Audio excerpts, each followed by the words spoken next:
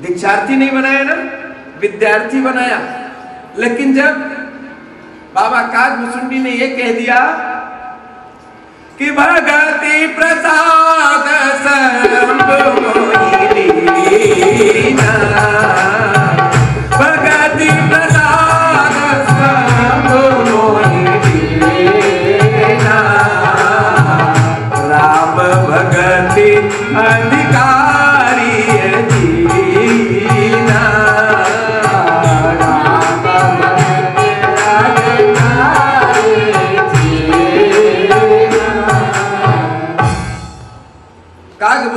ने कहा कि भक्ति का प्रसाद मुझे भगवान शंकर ने दिया है।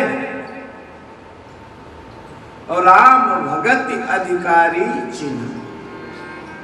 राम भक्ति का अधिकारी पात्रता देकर मुझे भक्ति दान में की है भगवान ने दिया नहीं है, संतों ने तर्क किया कि महाराज देना था तो सीधे सीधे दे देते। कुछ लोगों ने कहा कि बाबा कागवसुंडी पहले से श्रापित है। और भगवान भोलेनाथ दयालु है। इसलिए अनेक विद्वानों ने अलग तरीके का प्रमाण दिया। कुछ ने कहा भाई चलो शिव से ही पूछते हैं। भगवान शंकर के पास लोग आए। कहने लगे, आपने क्या लीला रचाई भोलेनाथ? बोले, कहा? बोले, आपने तो दीक्षा दी नहीं है। बिना गुरु के तो दीक्षा और विद्या दी नहीं जा सकती, दीक्षा के बिना विद्या कहाँ दे पाएँगे? लेकिन फिर भी भुसुंडी जी कहते हैं कि भगत प्रसाद शंभु वही। भगवान शंकर ने कहा कि राम मेरे इष्ट हैं, राम मेरे आराध्य हैं, मैं उनका सेवक हूँ। और एक सेवक का कार्य है अपने स्वामी के कीर्ति को बढ़ा देना।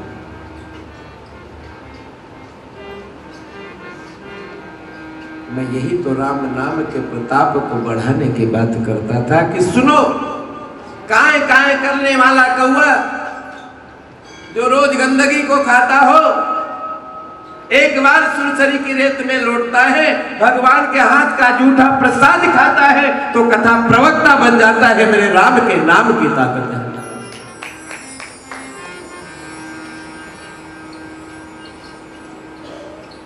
इतना ही नहीं मांसाहारी गरुड़, गुरु की कृपा को पा करके कथा का श्रोता बन जाता है। ये मेरे राम के नाम का प्रताप।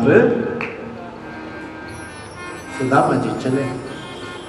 नगर में पहुँचते हैं। तो कहा वो फूस की झोपड़ी सागर के किनारे पड़ी थी? आज वहाँ बहुत सारी चीज़ों से सज्जित है। राजमहल बन गया। कहते, ये तो मेरा है ही नहीं। कहते, बिहारी, तेरी माया तू ही रख। मुझे तो सिर्फ़ भक्ति दे दे अरे तेरी लीला है अब रब पा। लीला तेरी लीला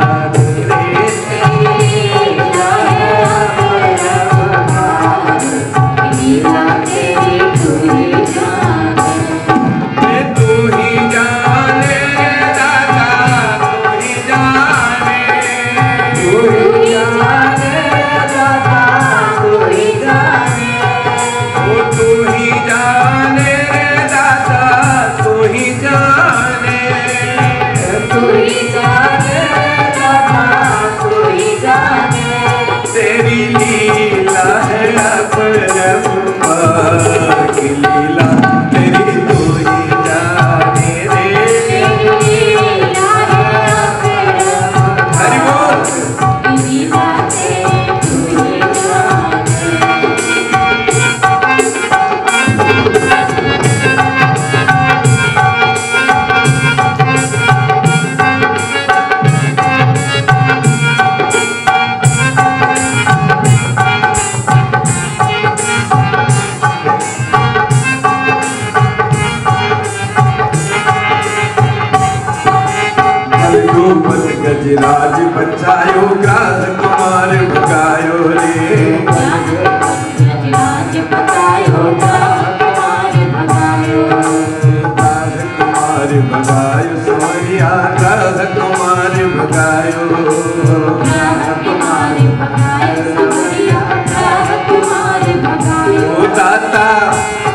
दाता ओ दाता ओ दाता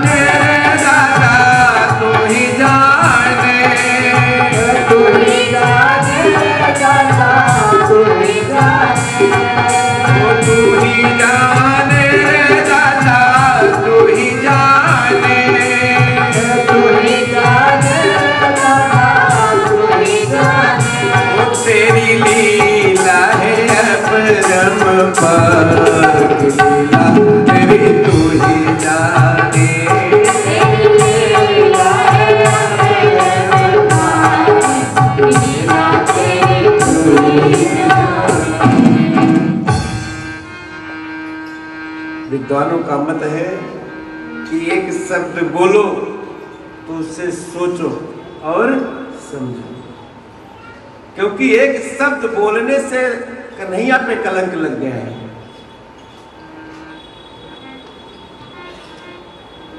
हमें अगर कुछ भी बोलना है तो बड़ा अच्छे शब्दों का इस्तेमाल करें, क्योंकि ये तो व्यवहार है।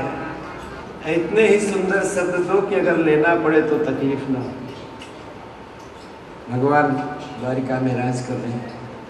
महाराज जन्मेजय सूर्य के साधक सूर्य के द्वारा उन्हें श्यामंतक मणि प्रदान हुई है और उसे धारण करके आज द्वारिकाधीश में आगमन हुआ। द्वारिका के अंदर जैसे वो प्रवेश करते हैं, भगवान के सेवकों ने समझा कि सूर्य देव का आगमन हो गया है। उन्होंने कहा, अरे, ये सूर्य नहीं है। ये सूर्य नहीं है।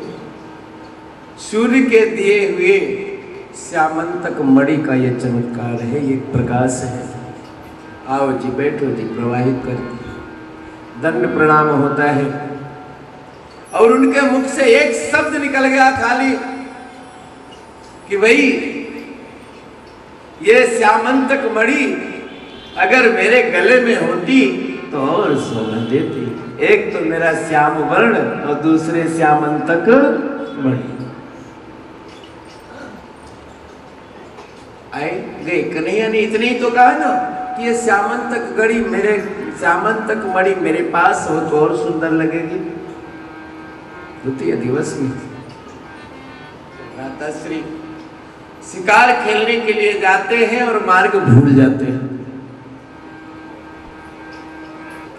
सिंह से युद्ध होता है। सिंह ने उसका वध कर दिया है। अब पूरे ओखा मंडल के अंदर, पूरे द्वारिका में हाहाकार मच गया और लोगों ने ये सोचने लिया, ये निर्णय लेने लगे लोग ये सोचने लगे कि कहीं श्यामंतक मणि के लालच में कृष्ण ने तो उनका वध नहीं करवा दिया।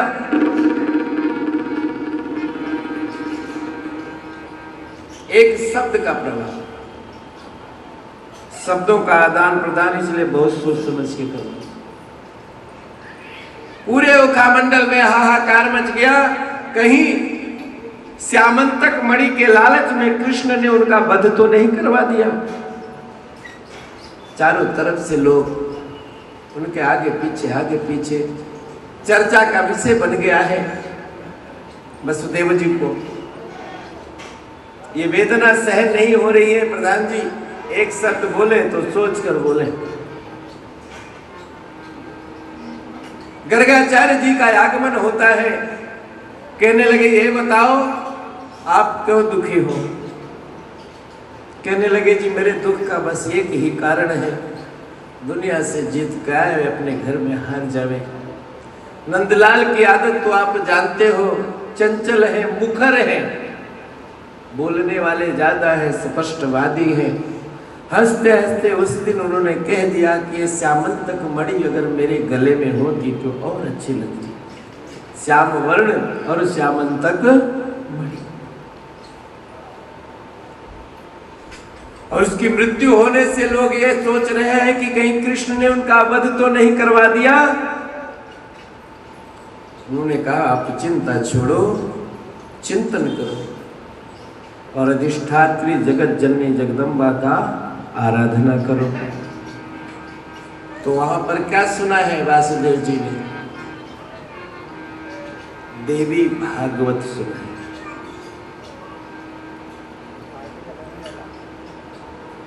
और उसके वजह से और कृष्ण ढूँढने निकल गए, सत्ताईस दिन हो गया था।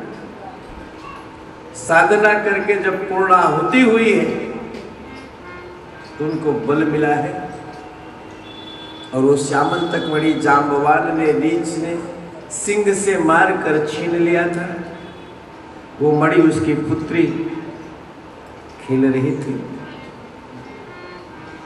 कृष्ण ने जाम जाम्बवान से युद्ध किया। सामंत को मणि हासिल की और जाम्बवती से विवाह किया। पुष्प बरसाने लगे सारे देवता बिहारी तेरी जय आदिशक्ति जगत जननी की आराधना कन्हैया जी के जीवन में कन्हैया के लिए सुरक्षित करने के लिए तीन बार हुई है। पहली बार योग माया से गर्भ परिवर्तन के लिए। दूसरी बार गर्गाचार्य जी ने विंध्य पर्वत पे जाकर साधना की थी। वहाँ प्रकट हुई विंध्य वासनी।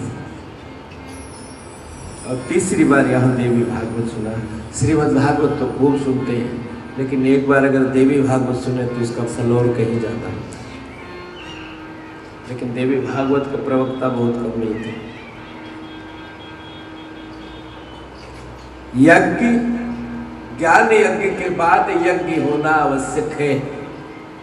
और अगर श्रीमद् भागवत कथा ज्ञान यज्ञ के बाद हवन नहीं होता है, यज्ञ नहीं होता है तो कर्ता, कराने वाला वक्ता और जापक तीनों पे दोष लग जाता है। इसलिए कथा के बाद में उसकी दशांश साहुतियाँ होनी आवश्यक होती है। यह विधान है। अब आजकल जमाना बदल गया है, लोग नहीं करते।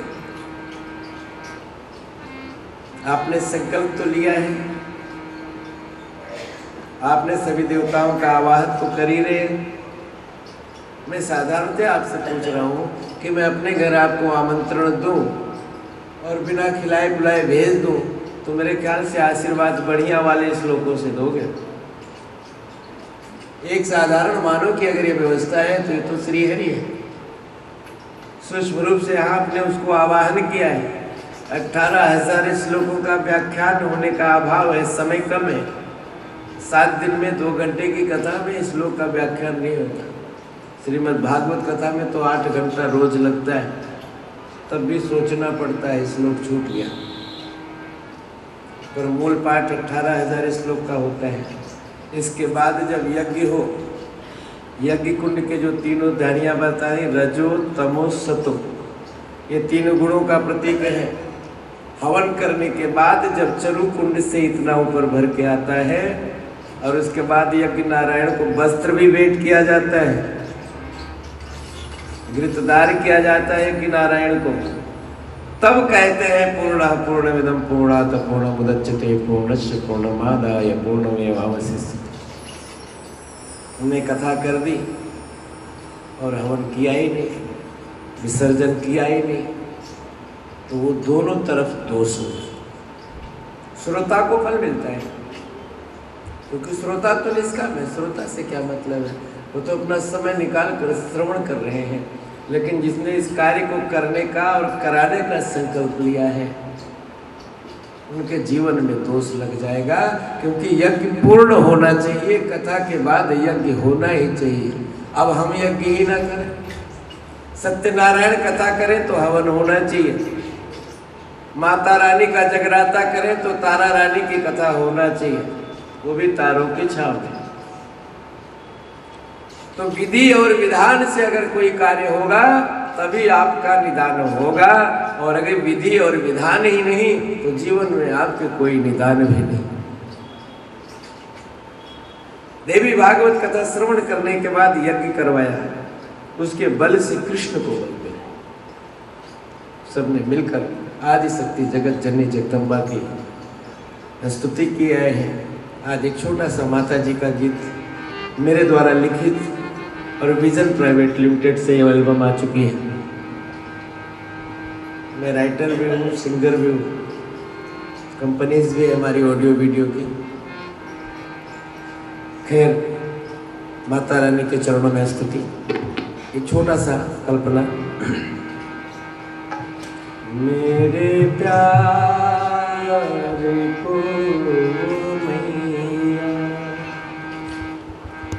मेरे प्यार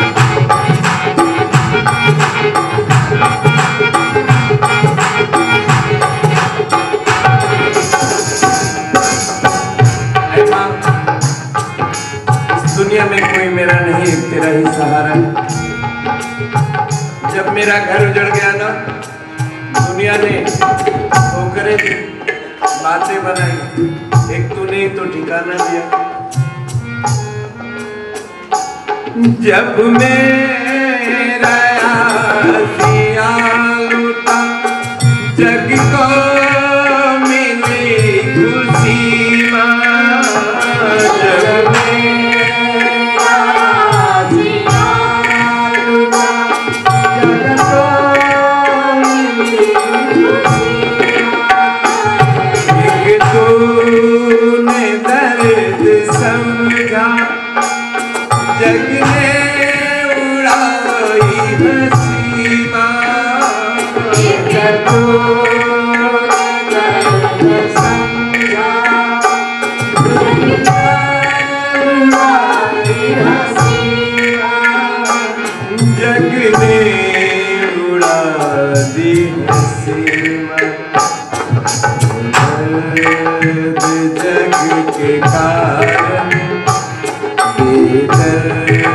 जग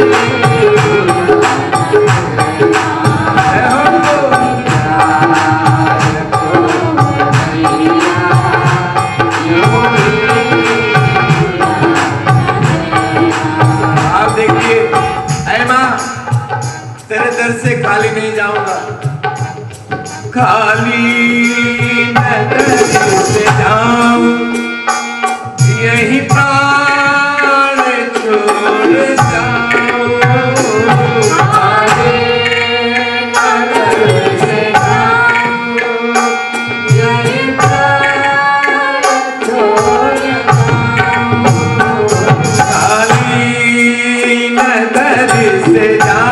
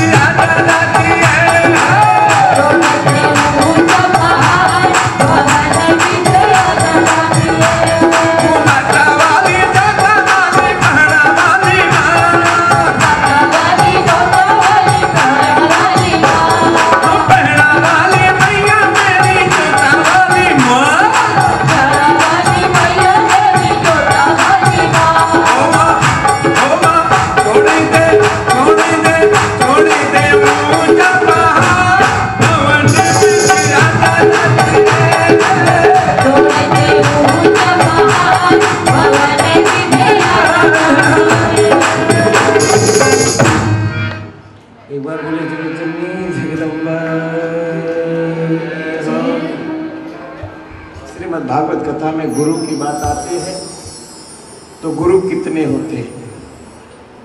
ऐसे तो 28 गुरु की परंपरा है। 24 की प्रमाणिकता है, पर सदगुरु तो परिग्रहो ही दुखाय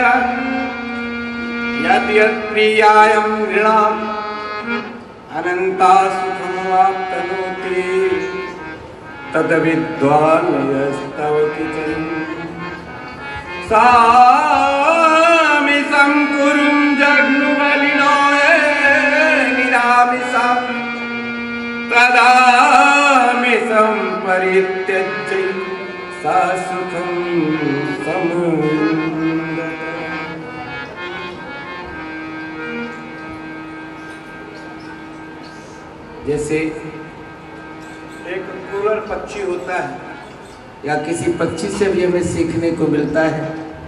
उसका बच्चा छोटा है, दाना चुन के लाता है, उसके मुँह में खिलाता है, उसको उत्तम सुख मिलता है।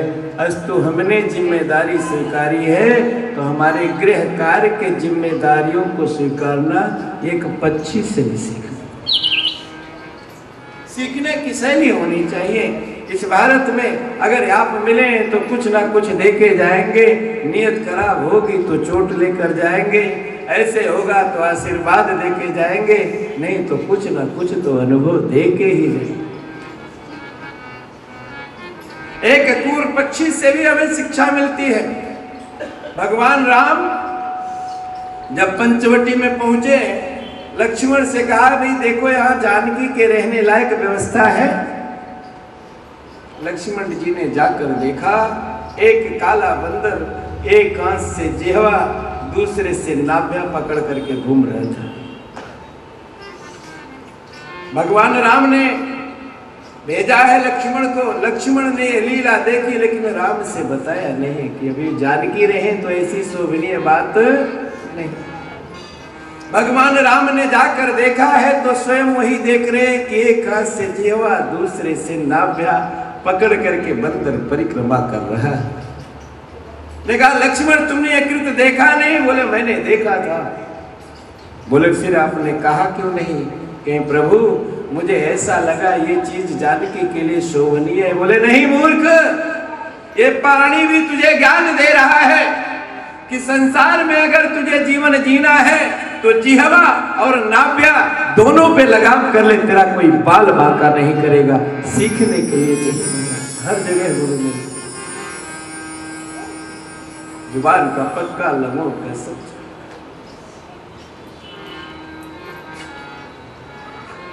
इसलिए जिससे भी आपने ज्ञान लिया है, वो आपका हो जाता है गुरु। किसी भी तरीके से, द्वितीय गुरु, तृतीय गुरु। भगवान दत्त के गुरुओं की श्रृंखला अगर हम करें तो भगवान दत्त ने सबको गुरु ही बनाया। नामे मानव मानो वस्तु न चुनते गृह पुत्रिना आत्मकीड़ा आत्मरति